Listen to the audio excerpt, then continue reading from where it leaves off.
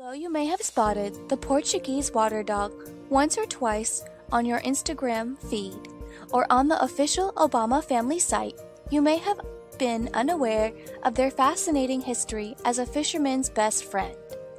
Formerly named the Portuguese sheepdog during their long stint as working companions, these dogs are now primarily bred for companionship and can be found among people of all professions.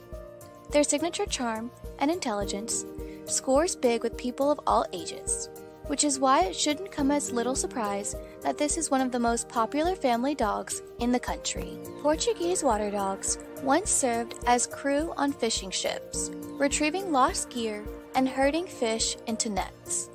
Today, this dog breed makes for a fun loving family companion, represented by Bo Obama, former first dog of the U.S., who still retains their intelligence and love of the water not to mention the web feet that made them so valuable to their human family.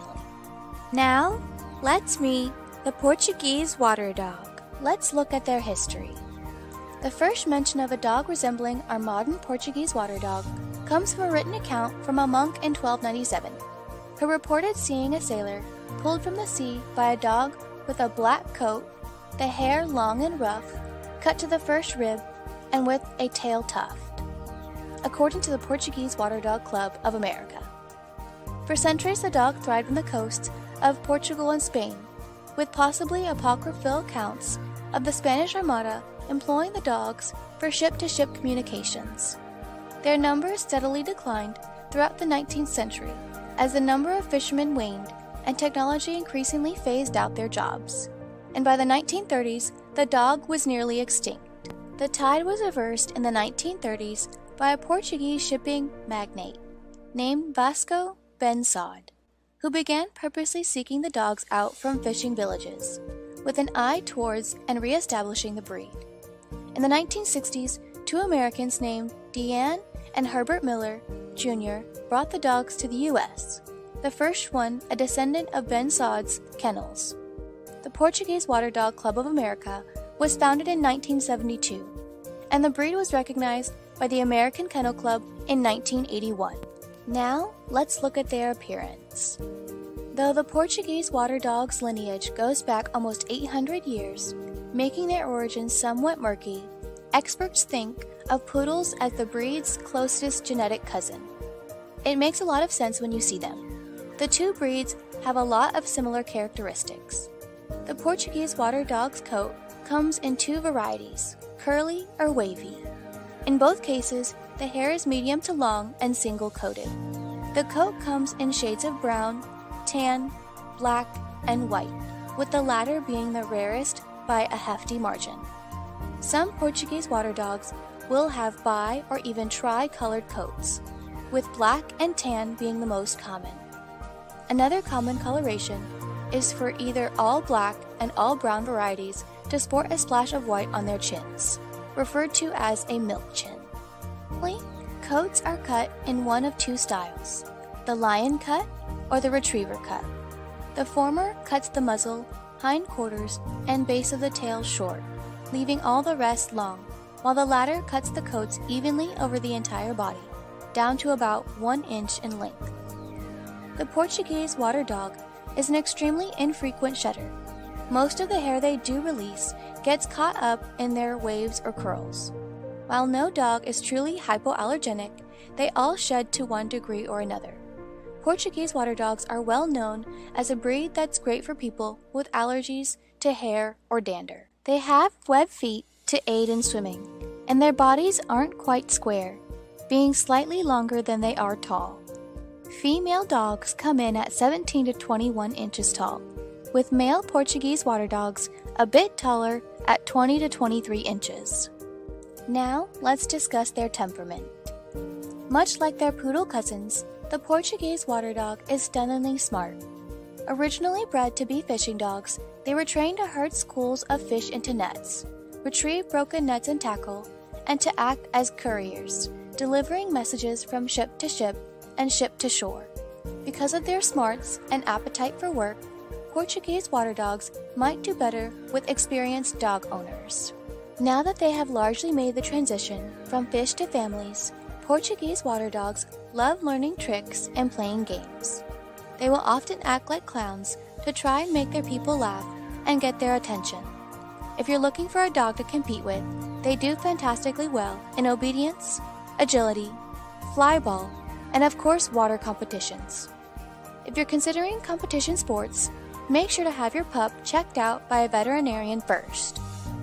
Portuguese water dogs are gregarious, outgoing dogs who are happy to make new friends. They can do very well in family households with the right circumstances. They are often affectionate and very good with children and other pets, but they're going to need a fair bit of physical activity and training. So, you want to be sure you have the time to devote to these things before adding a Portuguese water dog to the family.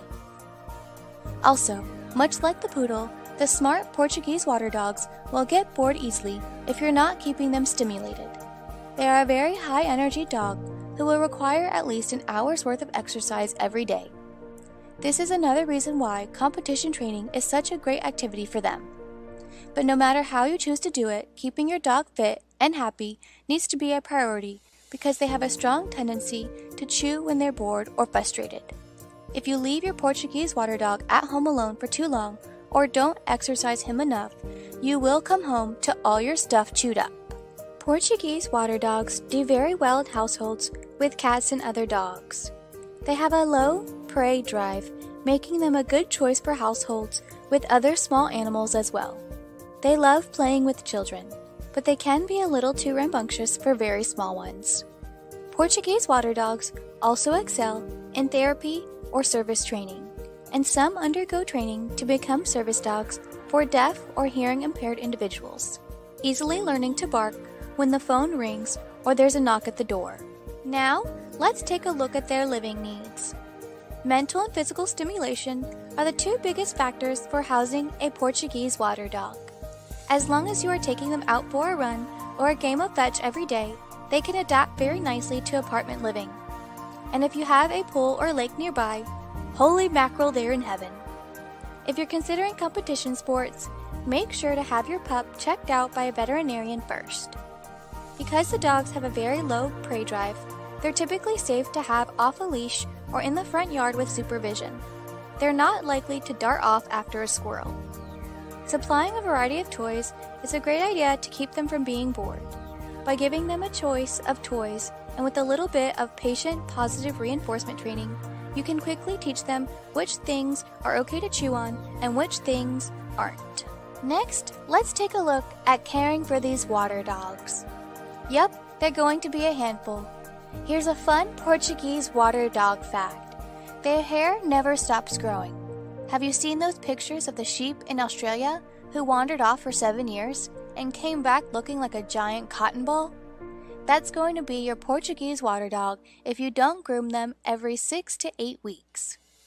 In addition to the trims, you're going to be brushing them every other day to keep that wavy or curly hair from matting up and clinging desperately to every twig and leaf it finds. Also, if you let your dog take a dip in a chlorinated pool, a saltwater body, or a lake with algae in it, you'll want to give them a quick hosing down right after to make sure the hair doesn't hold onto smells. Finally, let's discuss their health. Like other breeds, Portuguese water dogs can suffer from hip dysplasia. To hopefully prevent hip problems, Owners should wait to spay or neuter their dogs until they're 18 months or 2 years old. Some research has suggested spaying or neutering dogs in their first year can precede joint damage and other diseases in some breeds. Spaying and neutering around the 6 month mark can spur a growth spurt before Portuguese dogs' growth plates are closed, which can cause joint problems. Portuguese water dogs can also have issues with cataracts and progressive retinal atrophy a recessive gene that causes night blindness and can lead to total blindness. Your vet can conduct a simple DNA test to find out if your dog is a carrier of the gene or not. We can also check for a dog's ability to see in various conditions by checking their response to light, watching their pupils react to light and dark changes. One thing to do with animals is to set up a room with obstacles in various light settings and see how they navigate those obstacles with bright light, then again in progressively lower light settings. You may also want to have your vet test for juvenile dilated cardiomyopathy, which is another recessive gene that, while extremely rare, is fatal. New puppy owners should have their vets conduct all the tests and screenings recommended by the Portuguese Water Dog Club of America, the official breed club. If you're looking for an exercise companion or a Velcro family dog, the fluffy, exuberant Portuguese water dog might be your new best friend. Thanks so much for watching, y'all. Don't forget to subscribe to see our next video about the animals we love best.